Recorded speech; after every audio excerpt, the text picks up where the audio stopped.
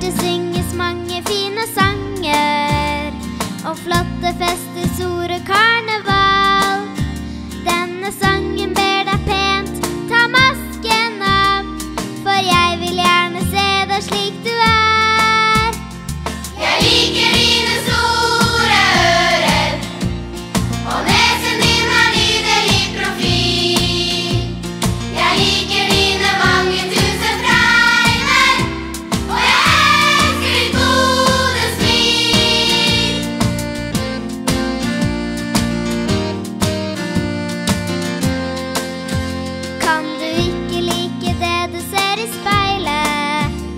Lar du andre få forandre den du er?